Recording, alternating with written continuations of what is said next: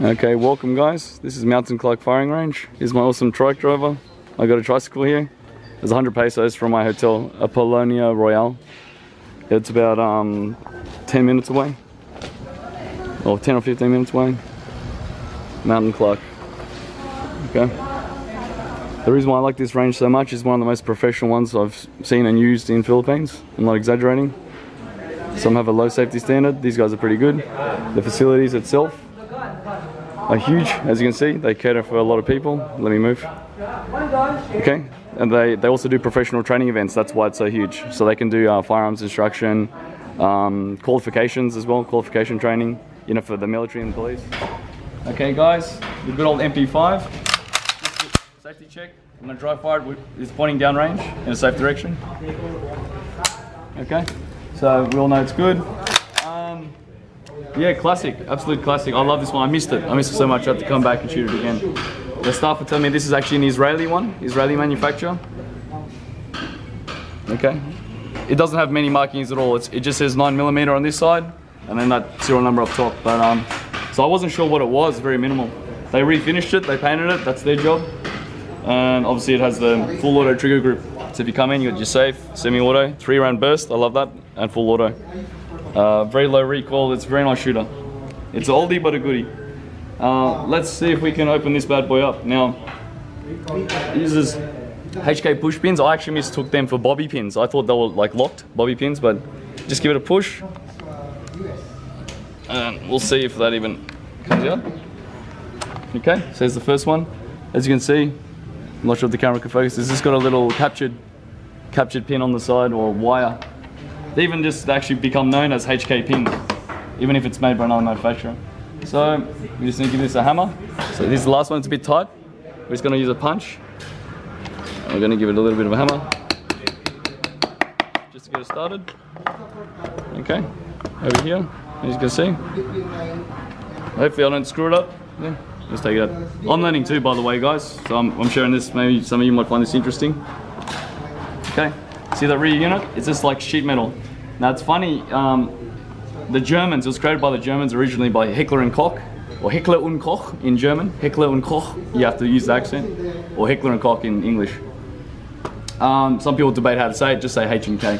Now the point is, the Russians were making stamped sheet metal AK-47s, so they said, hey, how can we make a stamped sheet metal gun? As you can see, the receiver's all stamped sheet metal. But ironically, Germans being Germans, they made it very complicated, so it became more expensive to make. Um, the technology in this is used in the G3 rifle and other similar like CETME, uh, Spanish CETME rifles. Uh, obviously here in the MP5 submachine gun, and there's even like the HK21. Forgive me, there's different machine guns that use this system. But anyway, this I think it's roller lock delayed blowback. There's a technical way to say it, but anyway. See? And what's great is like you can get aftermarket accessories, put AR-15 style stocks or folding stocks or no stock at all, whatever you want to put on it. Okay, so uh, and also while we're at it, the magazines. These have been um, very nice. These are like anti-tilt design. For such an old design, before the Magpul P-Mag, before these fancy magazines for AR-15s, they already worked out. But hey, it's just a stamped sheet metal pistol magazine. I mean, submachine gun uh, magazine. Basically, it's pistol caliber. That's what they call it, sub guns or submachine guns. They're not real, a real machine gun. And um, these days they're being called pistol caliber carbines by the civilian uh, civilian shooters. Anyway, I'll stop gabbing. As you can see, my cameraman's doing a great job, but I'm maybe a little awkward. He just pulls off. There's your capture trigger unit. Typical HK, they became famous for this. It's also a trigger unit, meaning you can just pull this out. So imagine in the military or police, an armorer could just pull this out, put a new one. If they wanted to change the, the like to have two round burst or just single shot, uh, or, or, just to maintain it, look at the springs. Yeah. Very nice. They're certainly known for being very reliable, very simple. Um, if they do get dirty, you just get a rag like this, wipe it. Okay, so you guys shouldn't be afraid of maintenance, just don't be afraid to wipe it. Just wipe it down, put some fresh oil. If you don't have any fancy oil, put motor oil, okay? I said it, don't be afraid to use oil. Um, anyway, again, hopefully I haven't broken it. okay. Here's your recoil spring, which is, seems to be attached. Oh, sorry, I should have brought that back, yeah. Sorry, the charging handle, push it back, and it'll help guide it out. There you go. This is one of the most expensive pieces uh, of the gun to manufacture. Well, it is the most expensive piece to manufacture. Typically the bolt and the barrel. Look how complicated it is, but it's very, very nice. I won't go too far because I don't want to screw it up. See how it's on, it's on these little lock tabs, these skid pads? That way it's less friction. And these interface inside here.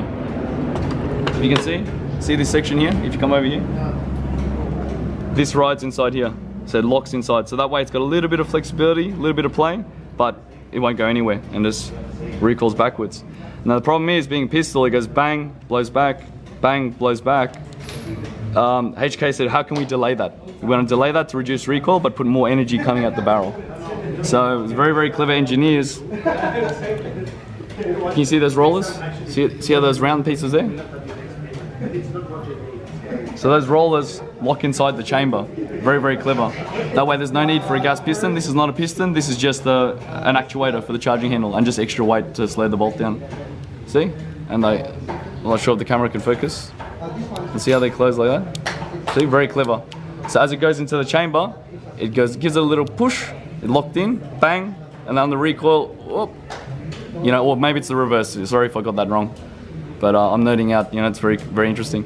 So because that, yeah, no need for direct impingement gas gas tubes or gas pistons, and uh, and it absorbs the recoil. Now it's not perfect. They do get fouled up. You got to keep them clean, and um, they can still break and malfunction too. And hopefully I haven't broken this one. Okay, here we go. So I'm gonna put this bad boy back together.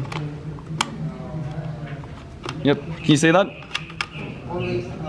The rollers were getting stuck, yeah. Just just like what I was saying. See, it goes like that. If you look at the rollers and they push and then lock inside the chamber like that. But anyway, I'm not sure if that's setting up. Oh, my fingers are in the way. Okay, so let's put this bad boy back together. There you go. Even the, the charging handle went all the way forward. Okay, that's fine. Again, Hope I haven't broken it. If I have, I guess I bought it. Um, oh, what am I doing? Okay. There we go.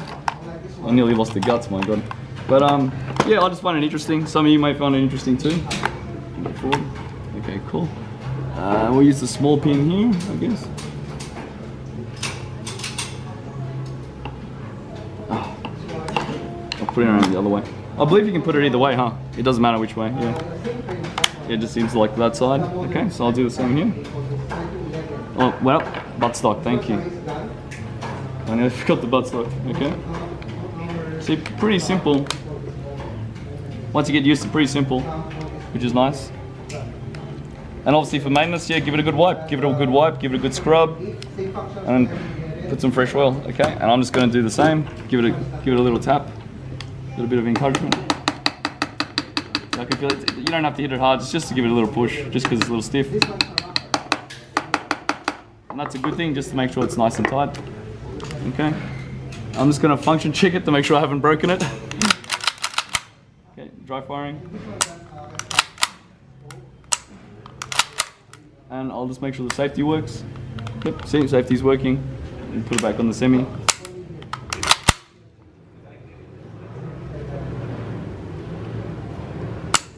That's good. that has a surprisingly good trigger. Sometimes they can have really mushy triggers. HK aren't known for the fancy triggers, but it's good. It's clean. Very clean. Alright guys, I'm going to stop nerding out. Oh, and here's the buttstock actuator. So if you turn, turn it down, yeah, make it compact. Alright. Um, vice versa, you press that tab and then you can pull it out. Uh, yeah, very cool. Very cool. I want to I want to take this home. All right. Thanks for watching.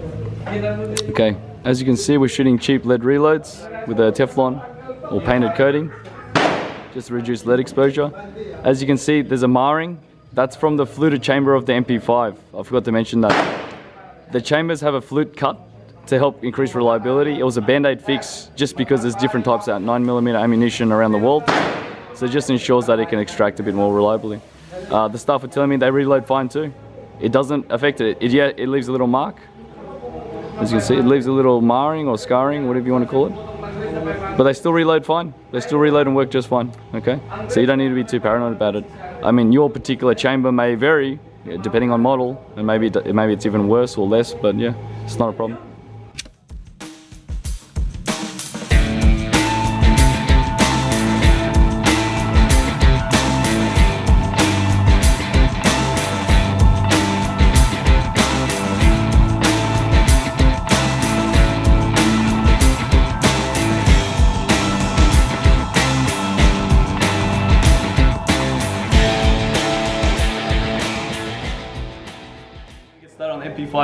I'm just going to do a little dry fire practice. Okay?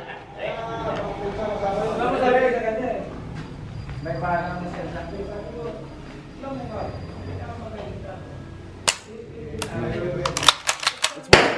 That way you're not wasting ammo. Just get used to how it feels, get used to the trigger. You know, maybe to adjust the buttstock, blah, blah, blah. Just get used to it. Whether pistol, rifle, anything. So, ironically, it's so compact. You know, you could do the whole magazine, all grip, blah, blah, blah. Very flickable. That's what's the advantage. You could have it under a coat or, you know, you can flick it up very quickly. Um, so ironically, I'm, I'm actually finding it a bit weird because I've been getting used to rifles. But anyway, enough gabbing, let's get shooting. I'm going to start off with semi-auto, single shot. Ah, see that? What just happened? It's still unloaded. The magazines are so full, they cannot go on a seated, uh, forward bolt. Okay? So I'm going to open the bolt first.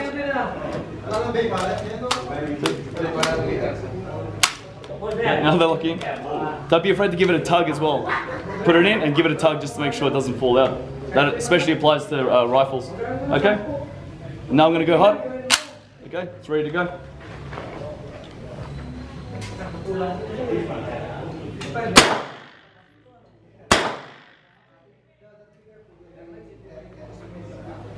Try to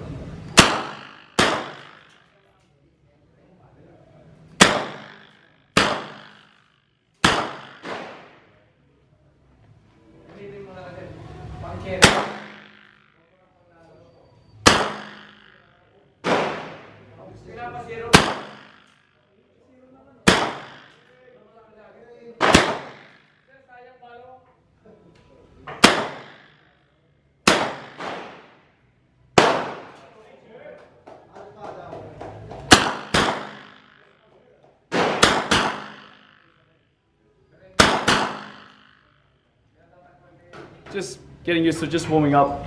You can even drill like this because I want to stay pointed down range. I want to stay as safe as possible. You know, you patrolling, looking around, and your friend can call it and say up. You know, but just say you're, you're on guard duty, you're patrolling, and.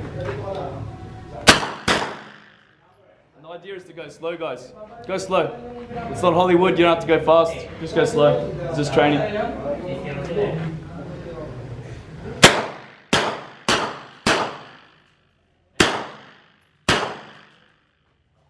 It's basically just a long pistol. It's basically just a long, easy to shoot pistol. But hey, that's not a bad thing.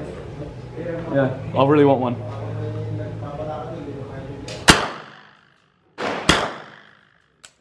Okay, and we're out. Check the magazine. Magazine's good. Okay, so I'm gonna go to burst. Why not? Back again. Very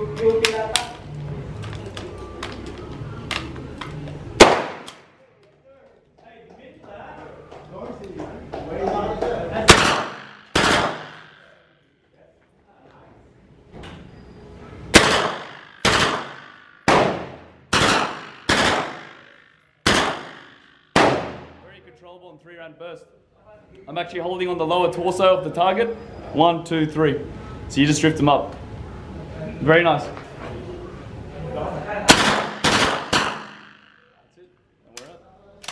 Oh, we had a malfunction. Let's go. Just try for it. Or just test for it. Okay. I think um, maybe a round burn up on the magazine. Yeah, I think it's the magazine, but it's okay. They're getting old. We'll finish up.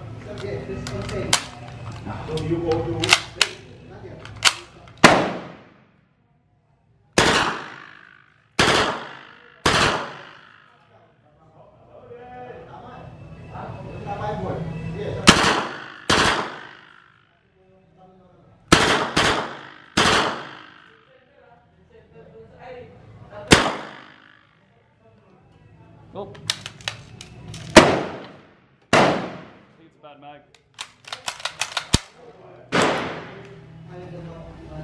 We got a couple left. We got a couple left. But I think it's a bad magazine. I will just finish up.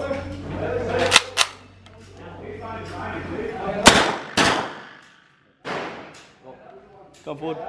Check it out. Okay. It is an older gun. It is full auto. It does get a lot of use, so it happens. Oh, that's it.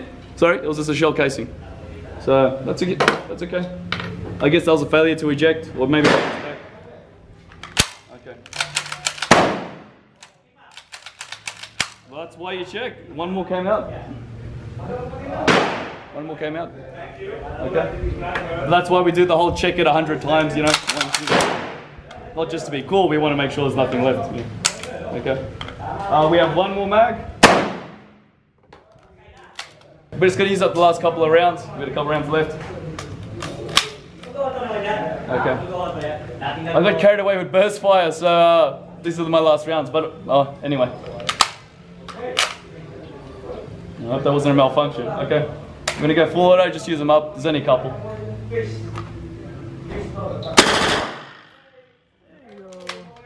That's it. That's all she wrote. So, yeah. Very nice, very smooth, um, low recoil, very nice shooter.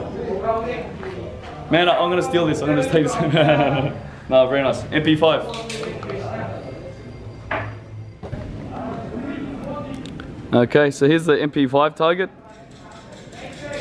I was actually aiming here purposely, so I think I was shooting low. When I was going for the headshots, they, they were dropping low, I think. I, I don't know for sure. Maybe they went high and they missed it altogether. And then obviously for full auto and burst fire, I was actually holding here. I was holding here and just letting him drift up, letting that muzzle rise. But yeah, very nice. It's still tight. Look at it, combat effective. Even under burst fire or full auto, it's still still combat effective. Hit all the all the right spots.